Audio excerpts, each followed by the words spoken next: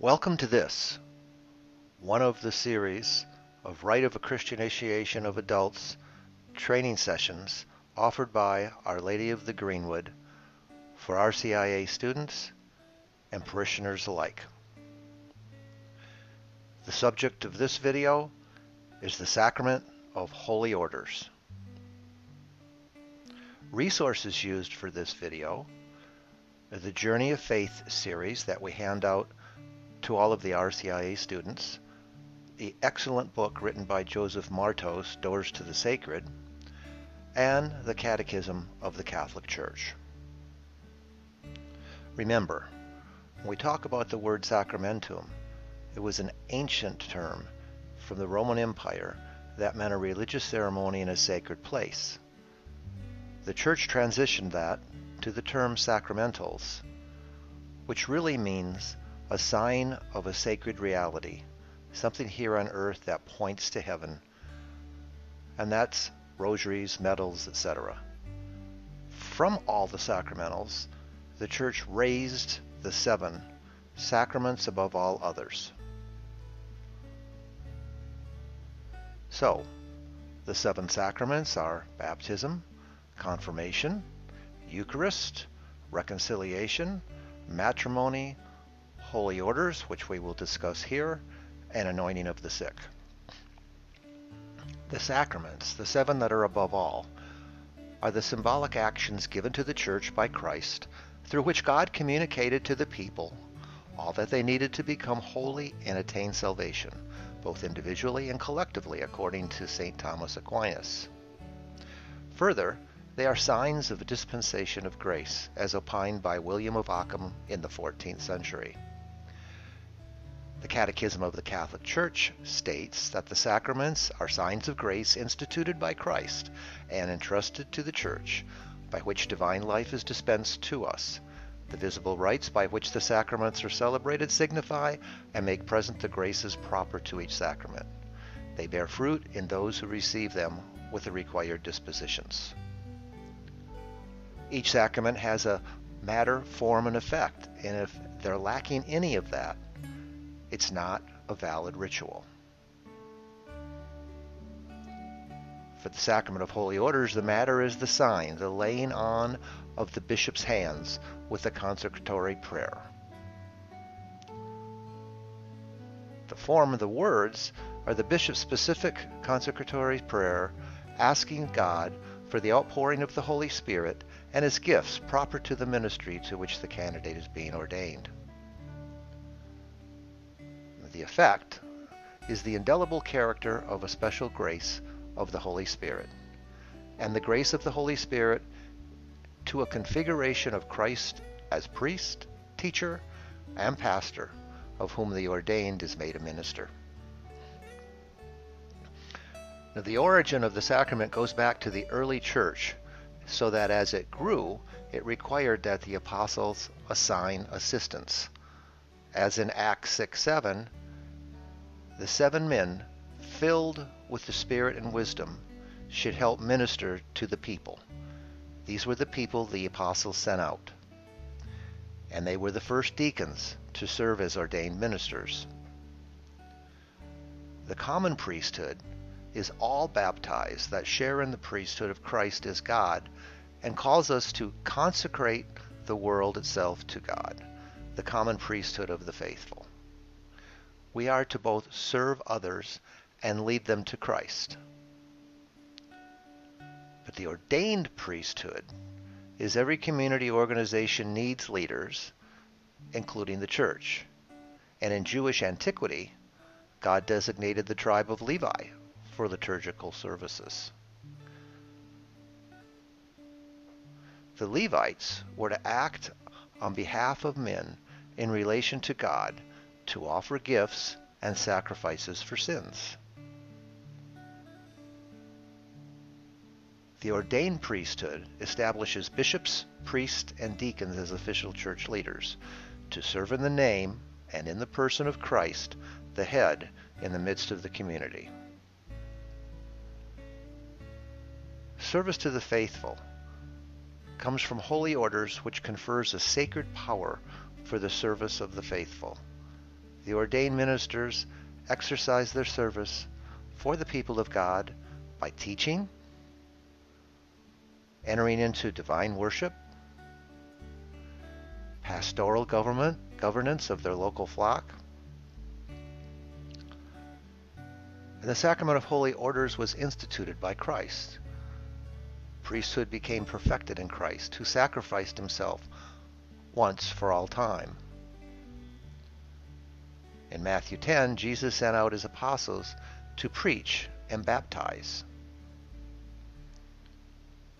In Mark 6, Jesus gave the apostles the power to heal and forgive sins.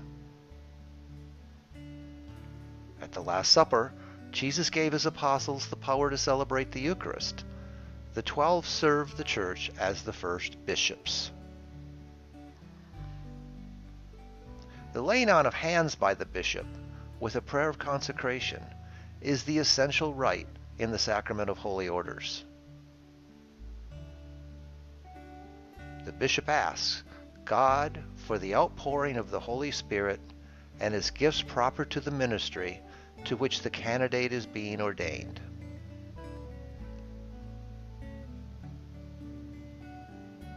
Ordination confers the gift of the Holy Spirit that permits the exercise of a sacred power, which can come only from Christ Himself through His church.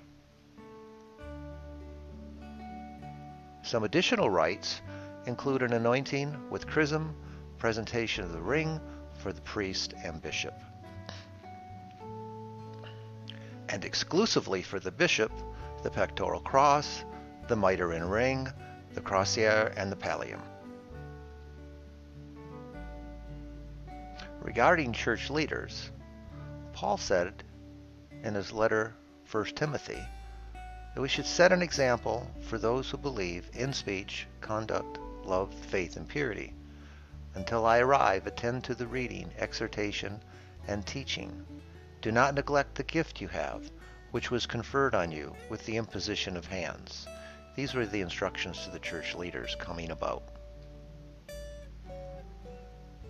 Leading the church, as the church grew, those blessed with strong faith and the ability to preach and teach became leaders. This marked the beginning of formal ordination, the sacramental act that integrates a man into the order of bishops, priests, or deacons. Holy Orders is the sacrament through which the mission entrusted by Christ to his apostles continues to be exercised in the church until the end of time. What are the degrees of holy orders? Well, first and foremost, there's the bishop.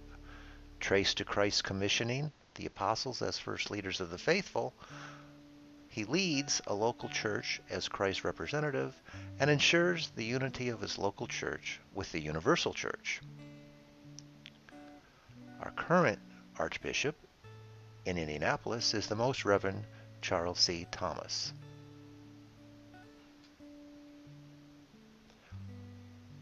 The bishop is the principal teacher in the archdiocese, ensures truth of Catholic faith and principles of morality are taught correctly, and he's first among preachers. He speaks in the name of Christ, when he visits a parish or celebrates a sacrament, he represents the universal church. Now, our principal bishop is the Pope, the Bishop of Rome.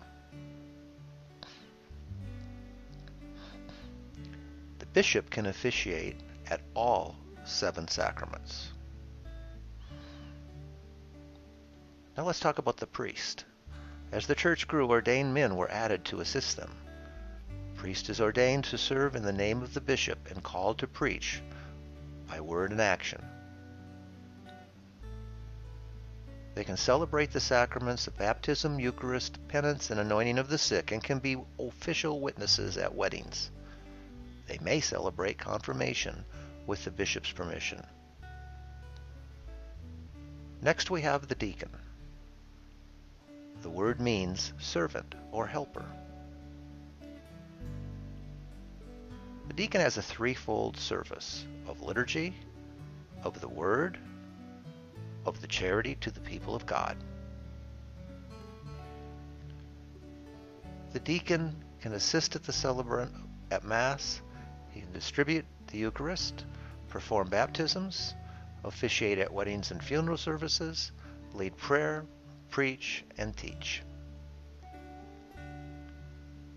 The focus of the deacon's ministry is charity, caring for the community, especially those in need.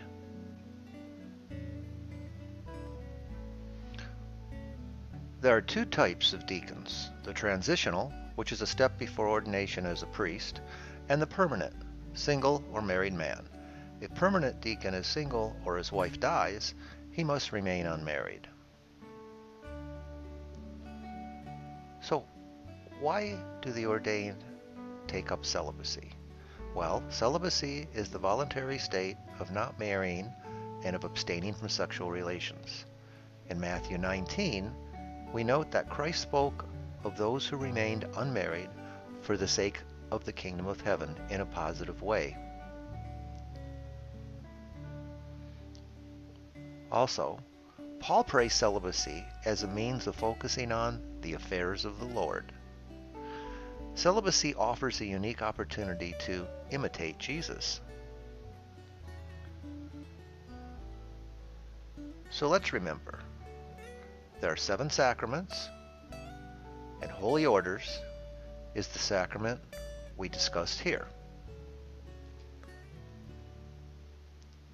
Thank you for your interest in this journey in faith of the rite of Christian initiation of adults by Our Lady of the Greenwood.